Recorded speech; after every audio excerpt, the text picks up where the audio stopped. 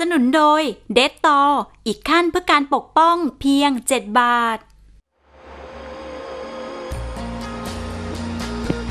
สวัสดีครับ สวัสดีค่ะ ขอต้อนรับคุณผู้ชมเข้าสู่รายการเปิดดวง 12 ราศีนะคะ รายการที่พร้อมจะพยากรณ์ดวงชะตาประจำวัน ให้คุณผู้ชมได้ทราบเป็นประจำค่ะ ทุกวันจันทร์ถึงวันศุกร์นะคะ8นาฬิกา30 นาทีถึง 10นาฬิกาตรง และวันนี้ตอนรับคุณผู้ชมนะคะเข้าสู่วันพฤหัสบดีที่ 21 พฤษภาคม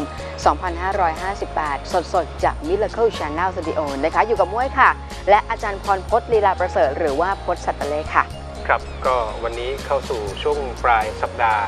นะครับของเดือนพฤษภาคมแล้ว มีหลายคนนะครับที่ได้มีโอกาสพบปะพูดคุยจาก การเข้าร่วมกิจกรรมในช่วงปลายสัปดาห์ที่ผ่านมาค่ะหรือแม้กระทั่งถามไถ่เข้ามาในอ่าโซเชียลต่างๆ เกี่ยวข้องกับในเรื่องของการเรียนโหราศาสตร์ หรือแม้กระทั่งท่านที่คุยสายโฟนอินเมื่อวานนะครับก็ประชาสัมพันธ์ให้ทราบนะครับทางสมาคมโหรแห่งประเทศไทย ในพระบรมราชินูปถัมภ์นำโดยอาจารย์ศิวนาถรุชุพันธ์นะครับ ก็จะได้จัดให้มีการอบรมวิชาโหราศาสตร์ หลากหลายสาขาครับ ซึ่งคอร์สใหม่เนี่ยของทางสมาคมก็จะเปิดเรียน กันในช่วงต้นเดือนมิถุนายนนี้นะครับ วันเสาร์ที่ 6 สถานที่เรียนก็ต้องบอกว่าสะดวกนะครับ อยู่ใจกลางกรุงเทพมหานครเลย ก็คือที่โรงเรียนวัดใหม่อมาตรสใกล้ๆกับสี่แยกแบงค์ชาติ หรือว่าสี่แยกบางขุนพรม ไม่ว่าจะเป็นวิชาโหราศาสตร์ไทยคัมภีมหาสัตตเลขนะครับ เลข 7 ตัว รวมไปถึงในเรื่องของไพ่ยิปซี ในเรื่องของลายมือลายเซ็นนะครับ รวมไปถึงเทคนิคในเรื่องของการพยากรณ์ภาคภาษาอังกฤษ เพราะทุกวันนี้ก็ต้องบอกว่า AEC ใกล้จะเข้ามาแล้วนะครับ ก็ไว้รองรับสำหรับกรณีถ้ามีการพยากรณ์ให้กับลูกค้าที่เป็นชาวต่างประเทศ หลากหลายสาขาครับ คงจะสาธยายในที่นี้ได้ไม่ครบถ้วน สนใจสอบถามรายละเอียดเพิ่มเติมได้นะครับ3หมายเลข 02 281 7596 ครับ 089 150 9909 และ 096 104 5299 ระยะเวลาที่ใช้ในการศึกษานะครับ1วิชาเนี่ยก็จะเรียนสัปดาห์ละ 1 ครั้งนะอาทิตย์หนึ่งเรียน 2 วันครับ คือเสาร์และอาทิตย์เลือกลงทะเบียนกันได้เลย หลายท่านถ้าไม่ค่อยมีเวลาก็อาจจะเรียนมากกว่า 1 วิชาก็ได้ หรือแม้กระทั่งใครไม่มีเวลาเลยจริงๆอคอร์สหนึ่งเนี่ยใช้เวลาเรียน 3 3 เดือนโดยประมาณ อาทิตย์ละหนึ่งครั้งต่อหนึ่งวิชา แล้วจะมีการสอบวัดผลนะครับถ้าใครไม่มีเวลาจริง ๆ ก็จะมีหลักสูตรระยะสั้นด้วยนะครับนะก็สามารถสอบถามรายละเอียดเพิ่มเติมได้ ตามหมายเลขที่ผมเรียนเมื่อสักครู่นี้ครับนะครับใครสนใจก็ติดต่อสอบถามกันได้นะคะรวมไปถึงนะคะวันนี้นะคุณผู้ชมที่มีคำถาม เรื่องราวของดวงชะตาเองก็ตามนะคะก็สามารถส่งข้อมูลเข้ามาทาง SMS นะคะสิ่งสำคัญเลยต้องระบุข้อมูลวันเดือนปีเกิด แล้วก็เวลาเกิดเข้ามาให้ครบถ้วนนะคะพิมพ์ตามนี้ค่ะ พิมพ์ PD เว้นวรรคตามด้วยชื่อนามสกุลนะคะวันวันที่เดือนพศแล้วก็รวมไปถึงเวลาเกิดนะส่วนใครต้องการตรวจสอบลัคนาราศีบอกด้วยนะคะว่าตัวเองเกิดช่วงอ่าเวลาประมาณเท่าไหร่ครับเกิดจังหวัดไหนนะคะ ส่วนอาชีพนะทำอะไรอยู่หน้าที่การงานกิจการการค้า หรือว่าค้าขายประเภทไหน ระบุข้อมูลเข้ามาให้ครบนะคะส่งมาที่ 422-1606 ส่วนใครอยากพูดคุยกันก็โทรเข้ามาลงทะเบียนได้เลยนะคะ ที่เบอร์โทรศัพท์ 02-496-0493 และ 02-496-0494 สิ่งสำคัญเช่นเดียวกันนั่นคือ โทรเข้ามาลงทะเบียนแล้วนะ ข้อมูลวันเดือนปีเกิดเวลาเกิดก็ต้องครบถ้วน แล้วก็ 1 ดวงชะตาต่อการ 1 ลงทะเบียนนั่นเองนะคะ ส่วนใครที่รอคอยนะกิจกรรมของรายการเปิดดวง 12 ราศีเดี๋ยวเดี๋ยวนี้ คงจะได้รับทราบกันนะว่าเราจะได้มีโอกาสได้เจอเจอ หรือว่าได้อ่าพูดคุยกันนะที่ไหนแล้วก็กิจกรรมที่ว่านั้นเป็นอย่างไรบ้างแต่รับรองค่ะว่า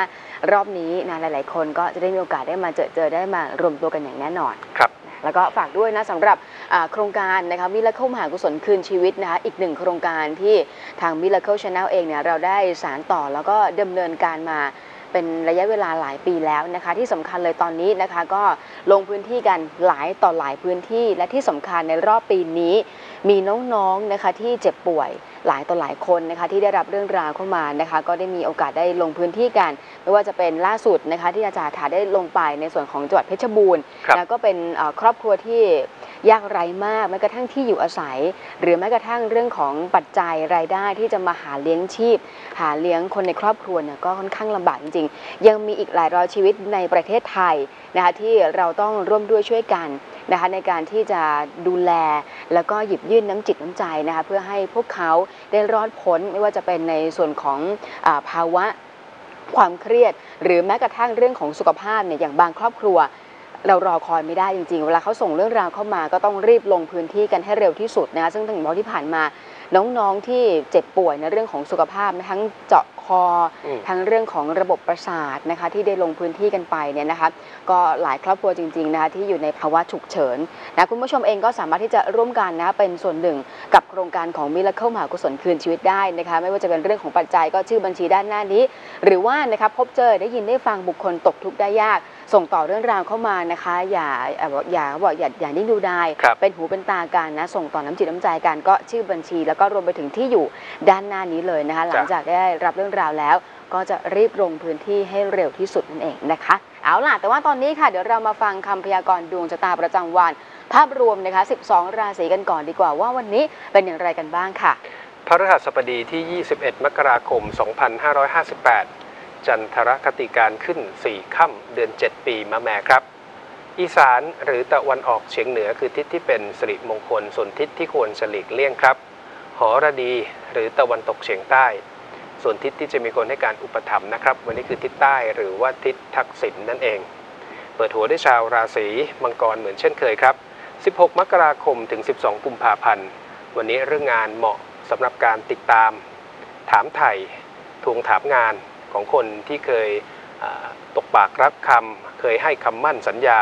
หรือมีข้อผูกพันกันอยู่ ส่วนเงินทองต้องจ่ายออกไปก่อนครับ จึงจะได้รับผลตอบแทน โดยเฉพาะในเรื่องของการลงทุน ความรักหัวใจวันนี้พยายามอย่ายุ่งเรื่องส่วนตัวของกันและกันดีที่สุด สีถูกโฉลกค่ะชาวชาวราศีมังกรค่ะ วันนี้ทำงานเชิงรุกนะครับ เสริมให้มีความกระตือรือร้นกับสีเหลือง ส่วนสีที่ควรจะหลีกเลี่ยงคือสีดำราศีต่อไปนะคะ ราศีกุมค่ะ 13 กุมภาพันธ์ถึง 13 มีนาคม วันนี้เรื่องงานไม่ว่าจะทำอะไร ขอให้คำนึงถึงความรู้สึกของคนที่อยู่รอบข้าง อย่าใช้อารมณ์นะครับ โดยเฉพาะกับบริวารลูกน้อง หรือแม้กระทั่งหุ้นส่วนที่ทำธุรกิจร่วมกัน หากขัดแย้งวันนี้จะไม่เหมือนเดิมนะครับ ส่วนเงินทองรับซ้ายจ่ายขวาครับ บริหารสภาพคล่องให้ดี แต่หัวใจทายดี โสดจะมีคนสนใจ สีถูกโฉลกค่ะชาวชาวราศีกุมค่ะ หนักแน่นนะครับ การกระทำการแสดงออกหรือคำพูดกันแล้วแต่ เสริมให้มีความหนักแน่นสีชมพู ส่วนสีที่ควรจะหลีกเลี่ยงคือสีส้ม ราศีต่อไปนะคะ ราศีมีนค่ะ 14 มีนาคมถึง 12 เมษายนครับ อย่าใจร้อน แม้จะประเมินหรือรู้ผลลัพธ์อยู่ก่อนแล้ว ในเรื่องของงานเนี่ยก็ขอให้เดินตามสเต็ปตามขั้นตอน ระวังจะมีปัญหาหากมีการตรวจสอบในอนาคต ส่วนเงินทองและการลงทุนอยู่ในเกณฑ์ที่น่าพอใจนะครับ มีโอกาสที่จะได้ลาบผลจากเพศตรงข้าม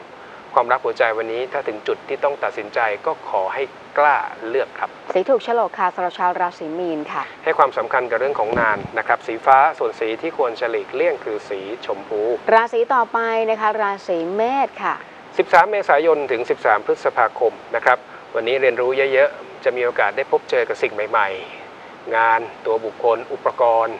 เครื่องไม้เครื่องมือ หรือแม้กระทั่งสภาวะแวดล้อมที่เปลี่ยนแปลงไป แต่เงินทองกลับด้านฮะวันนี้อย่าไว้วางใจใครง่ายจนเกินไป อย่าให้ใครดูแลสิทธิประโยชน์ ความรักหัวใจวันนี้อย่าทะเลาะกันให้เหนื่อยครับหนีกันไม่พ้นหรอก สีถูกโฉลกค่ะชาวชาวราศีเมษค่ะ หลักทรัพย์เงินทอง สีเหลืองเข้ม ส่วนสีที่ควรจะหลีกเลี่ยงคือสีดำราศีต่อไปนะคะ ราศีพฤษภค่ะ14 พฤษภาคมถึง 13 มิถุนายนนะครับ วันนี้ต้องเผื่อเหลือเผื่อขาดไว้บ้าง อย่าให้ความสำคัญกับเรื่องใดเรื่องหนึ่งมากจนเกินไปในส่วนของงานนะครับทำอะไรดูภาพใหญ่ด้วย ส่วนเงินทอง ถ้าตนเองไม่มีความพร้อม ก็ต้องรู้จักปฏิเสธ หากมีคนขอความช่วยเหลือ หัวใจวันนี้ขอให้ใช้ความสงบสยบความเคลื่อนไหวดีที่สุด สีถูกโฉลกค่ะชาวชาวราศีพฤษภค่ะเพื่อเหลือเพื่อขาดครับ เสริมให้มีที่พึ่งพา มีคนให้การอุปถัมภ์ค้ำชูกับสีเหลืองเข้ม ส่วนสีที่ควรจะหลีกเลี่ยงคือสีม่วง ราศีต่อไปนะคะ ราศีเมถุนค่ะ 14 มิถุนายนถึง 14 กรกฎาคม วันนี้งานกับเงินทายดีครับ มีโอกาสขยับขยาย จะมีคนเข้าหาเพื่อหยิบยื่นโอกาส เช่นเดียวกับเรื่องของเงินทองและการลงทุนครับ มีโอกาสจะได้รับข่าวดีในเรื่องที่เกี่ยวข้อง มีเพียงเรื่องของหัวใจ วันนี้ระวังสมาชิกในบ้านจะมีปัญหา สีถูกโฉลกค่ะสำหรับชาวราศีเมถุนค่ะ เสริมให้มีความมั่นคงเป็นหลักเป็นฐานกับสีน้ำเงิน ส่วนสีที่ควรจะหลีกเลี่ยงคือสีเขียว ราศีต่อไปนะคะ ราศีกรกฎค่ะ 15 กรกฎาคมถึง 16 สิงหาคม วันนี้คนทำงานสามารถรักษามาตรฐานได้นะครับ คนทำธุรกิจเองก็มีโอกาสที่จะได้ต่อสายหาคอนเน็ชัน กับคนที่ทำกิจการขนาดที่ใหญ่กว่า มีศักยภาพที่เหนือกว่าเรา ส่วนเงินทองวันนี้ไม่ว่ามีมากหรือน้อย ไม่ว่าขาขึ้นหรือขาลง 70%ฮะบริหารสภาพคล่องได้ แต่หัวใจไม่เด่นไม่มีอะไรแน่นอน สีถูกโฉลกค่ะสำหรับชาวราศีกรกฎค่ะ หนักแน่นหน่อยนะครับ โดยเฉพาะในเรื่องความรักความสัมพันธ์กับสีส้ม ส่วนสีที่ควรจะหลีกเลี่ยงคือสีแดง ราศีต่อไปนะคะ ราศีสิงค์ค่ะ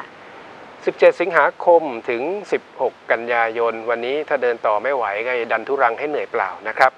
ใช้เวลาสักระยะหนึ่งแล้วค่อยกลับมาว่ากันใหม่ในส่วนของงาน โดยเฉพาะปัญหาที่สั่งสมมานาน ส่วนเงินทองยังไม่ได้รับผลกระทบครับ วันนี้ดูแลตัวเองและคนใกล้ชิดได้ตามสมควร แต่เรื่องของหัวใจวันนี้เวลามีปัญหาอยากให้สำรวจตัวเองก่อนเป็นลำดับแรกครับ สีถูกโฉลกค่ะสำหรับชาวราศีสิงค์ค่ะ เหนื่อยนักก็พักก่อนเสริมเรื่องงานกับสีเขียว ส่วนสีที่ควรจะหลีกเลี่ยงคือสีส้ม ราศีต่อไปนะคะ ราศีกันค่ะ 17 กันยายนถึง 16 ตุลาคม วันนี้เน้นในทุกรายละเอียดดีที่สุดนะครับ พยายามอย่าให้เกิดความผิดพลาด การหวังไปตายเอาดาบหน้านะครับ หรือจะไปเสี่ยงเนี่ยวันนี้ไม่เด่นจริง ๆ ส่วนเงินทองและการลงทุนรับฟังความคิดเห็น คนหวังดี คนทักท้วง คนคอมเมนต์วันนี้นะครับไม่เสียหลายนะ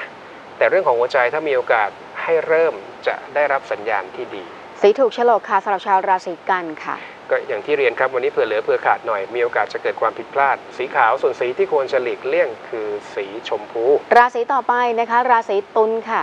17 ตุลาคมถึง 15 พฤศจิกายน อย่าโลเลครับ ต้องมีความหนักแน่นและชัดเจนในส่วนของงาน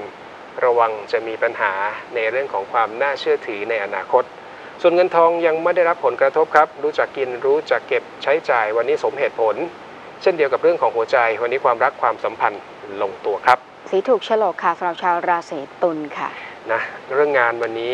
อย่าทำเป็นเด็กนะครับเสริมให้มีความหนักแน่นกับสีเขียว ส่วนสีที่ควรจะหลีกเลี่ยงคือสีแดง ราศีต่อไปนะคะ ราศีพิจิกค่ะ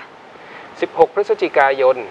ถึง 15 ธันวาคม ไม่มีใครดีทุกวันนะครับ มีโอกาสได้รับมอบหมายให้ทำในสิ่งที่ไม่พึงปรารถนา คนทำธุรกิจก็มีโอกาสจะได้เจอเจอกับปัญหาที่เลือกไม่ได้ ส่วนเงินทองและการลงทุน อย่าลุยไปข้างหน้าอย่างเดียว ตรวจสอบครับ ว่าช่วงที่ผ่านมาเดินมาถูกทางแล้วหรือไม่ เช่นเดียวกับเรื่องของหัวใจครับ วันนี้อย่าทำให้ใครต้องเดือดร้อน สีถูกโฉลกค่ะสำหรับชาวราศีพิจิกค่ะ หลักทรัพย์เงินทองกับสีเหลืองเข้ม ส่วนสีที่ควรจะหลีกเลี่ยงคือสีม่วง ราศีต่อไปนะคะ ราศีธนูค่ะ 16 ธันวาคมถึง 15 มกราคมนะครับ โดยรวมวันนี้ถือว่าสอบผ่านนะสำหรับชาวราศีธนู การเงินไม่ติดขัดนะครับ สามารถแบ่งปันหยิบยืมกับคนใกล้ชิด งานเองภารกิจส่วนหนึ่งก็ต้องบอกว่าวันนี้งานมีไม่มาก ถึงมีก็ไม่ยาก รับผิดชอบได้ ความรักหัวใจแม้โสด ก็มีโอกาสได้เจอเจอกับคนที่มีสถานะที่เหนือกว่าตน สีถูกโฉลกค่ะสำหรับชาวราศีธนูค่ะ กระตือรือร้นให้มากนะครับ กับสีชมพูส่วนสีที่ควรจะหลีกเลี่ยงคือสีบรอนซ์ทองเอาละค่ะนี่คือภาพรวมของ 12 ราศีในวันนี้นะคะ ส่วนช่วงหน้าค่ะ คุณผู้ชมก็สามารถส่งข้อมูลเข้ามาทาง SMS นะคะให้อาจารย์ตรวจสอบดวงชะตากันได้ ระบุข้อมูลเข้ามาให้ครบนะคะพิมพ์ทีดีเว้นวรรคตามที่ชื่อนามสกุล วันวันที่เดือนพศ แล้วก็เวลาเกิดรวมไปถึงคำถามนะคะ ระบุคำถามเข้ามาให้ชัดเจน ส่งมาที่ 4221606พักกันสักครู่ค่ะครับ